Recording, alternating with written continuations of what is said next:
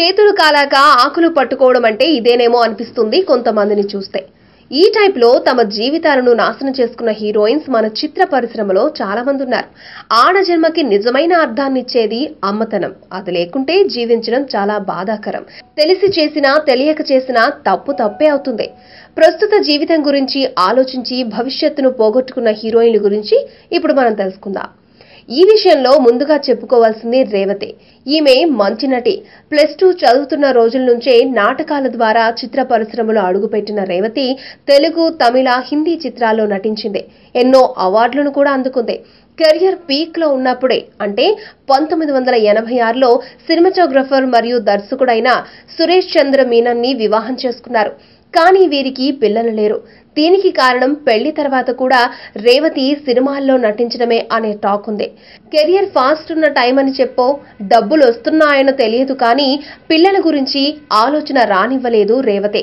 అంతేకాదు పిల్లలను కంటే అందం దెబ్బతింటుందని తర్వాత ఆఫర్స్ రావనుకున్న రేవతి పిల్లలను వద్దనుకుంది. సినిమాల కంటే రియల్ లైఫ్ ముఖ్యమని తెలుసుకునే టైంకి దేవుడు పిల్లలు కలగకుండా చేశాడు. ఇటు చూస్తే భర్తతో విడాకులు అటు చూస్తే సినిమాలు తగ్గిపోయి ఒంటరి జీవితాన్ని గడిపింది. కానీ ఇప్పుడు ఒక పాపను దత్తత తీసుకుని జీవితాన్ని కాస్త గాడిలో పెట్టుకుంది. ఇక ఒకప్పుడు లేడీ అమితాబ్గా టాలీవుడ్ని ఏలిన విజయశాంతి కూడా ఇదే కోవలోకి వస్తారు వరంగల్ జిల్లాకు చెందిన విజయశాంతి చైల్డ్ ఆర్టిస్ట్గా చిత్ర పరిశ్రమలోకి అడుగుపెట్టింది. హీరోయిన్గా కెరియర్ స్టార్టింగ్లో గ్లామర్ పాత్రలతో అందరినీ అలరించి లేడీ ఓరియంటెడ్ మూవీస్లో కూడా నటించి మంచి పేరు తెచ్చుకుంది విజయశాంతి. సినిమాల్లో నటిస్తున్న టైంలో విజయశాంతిపై ఎన్నో రూమర్స్ వచ్చాయి. సినిమా అవకాశాల కోసం డైరెక్టర్స్తో క్లోజ్గా ఉండేదని ఇంకా చంద్రమోహన్ బాలకృష్ణలతో ఎఫైర్ ఉందని టాక్ కూడా వినిపించింది.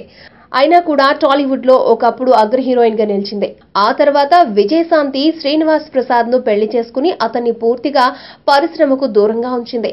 హీరోయిన్గా కొనసాగుతున్న టైంలోనే పెళ్ళి చేసుకున్న విజయశాంతికి పిల్లలు మాత్రం లేరు. హీరోయిన్ తర్వాత రాజకీయాల వైపుకు వెళ్ళిన విజయశాంతి పిల్లలు కనగలిగే అవకాశం ఉన్నప్పటికీ ఎందుకు కనలేదో మీడియాకు వివరణ ఇచ్చింది. తనకు సమాజమే పిల్లలని సొసైటీ కోసం పిల్లలను కనలేదని చెప్పింది. ప్రస్తుతం విజయశాంతి వయసు యాభై మూడు సంవత్సరాలు. అయినా పిల్లలు లేరు. ఇక నటి శారద ఈమె కూడా చిన్నతనంలోనే చిత్ర పరిశ్రమలో అడుగుపెట్టింది. స్వతహాగా మంచి డాన్సర్ కావడంతో అంతకు మించి అందముండడంతో ఆమెను సినిమాల్లోకి తీసుకున్నారు. శారద మలయాళం తెలుగు తమిళ పరిశ్రమలో మంచి నటిగా గుర్తింపు తెచ్చుకుంది. శారద సినిమాలలో నటిస్తూనే తన ఇరవై రెండవ ఏటనే చలం అనే నటుడిని ప్రేమించి పెళ్ళి చేసుకుంది. అయితే చలానికి ముందే పెళ్ళై ముగ్గురు పిల్లలు కూడా ఉన్నారు అతని మొదటి భార్య చనిపోవడంతో శారదను పెళ్ళి చేసుకున్నాడు చలం. పెళ్ళి తర్వాత కూడా శారద సినిమాలలో నటించిందే. ఇది చలానికి ఇష్టం లేదు. దాంతో భర్త కుటుంబం కంటే కెరియరే ముఖ్యమనుకున్న శారద కొద్ది రోజులకు చలానికి విడాకులిచ్చింది. అందం ముఖ్యమనుకుందో ఏమో తెలియదు కానీ ఈమెకు పిల్లలు పుట్టలేదు. ఇలా నిజ జీవితంలో ఓడిపోయిన శారద ఇప్పుడు ఒంటరిగానే జీవితాన్ని గడుపుతోంది. జయప్రద. హీరోయిన్గా యావత్ దేశంలో తన జయకేతనం ఎగురవేసింది. అందాల రాశిగా ప్రేక్షకుల నీరాజనాలు అందుకుంది. ఎన్నో అవార్డులు రివార్డులతో సత్కరించారు.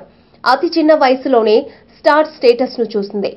అన్నీ ఉన్నాయి కానీ నోరారా అమ్మ అని పిలిచే పిల్లలు తప్ప అయితే జయప్రద హీరోయిన్గా ఉన్నప్పుడు హీరో కృష్ణని ప్రేమించి పెళ్ళి కూడా చేసుకోవాలనుకుందట. ఇది ఎంతవరకు నిజమో తెలియదు కానీ కొద్ది కాలం తర్వాత సినిమా ప్రొడ్యూసర్ ఫైనాన్షియర్ మిలీనియర్ అయిన శ్రీకాంత్ మెహతా అనే వ్యక్తిని ప్రేమించింది. కానీ అతనికి అప్పటికే పెళ్ళై ముగ్గురు పిల్లలు కూడా ఉన్నారు. అయినా కూడా వదలకుండా జయప్రద తన పంతంతో శ్రీకాంత్ను పెళ్ళి చేసుకుంది. ఆ పెళ్ళి కూడా మూడు నాళ్ళ ముచ్చటే అయ్యింది. ఎన్నో గొడవల మధ్య పెళ్ళి చేసుకున్న జయప్రద విడాకులు తీసుకోకపోయినా ఎక్కువ కాలం కలిసుండలేదు. దాంతో పిల్లలు కూడా కలగలేదు.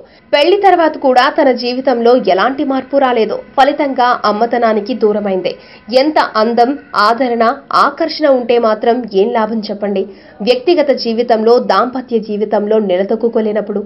ఇలా సినిమా కెరియర్ కోసం తమ జీవితాలను నాశనం చేసుకున్న హీరోయిన్లు అందరూ తెలుగువారు కావడం గమనార్హం. ఈ వీడియో మీకు నచ్చితే ఓ లైక్ కొట్టండి. మీ ఫ్రెండ్స్కు షేర్ చేయండి. ఇలాంటి డిఫరెంట్ వీడియోలను మరిన్ని చూడాలనుకుంటే మా యూట్యూబ్ ఛానల్ను సబ్స్క్రైబ్ చేయడం మాత్రం మరవకండి.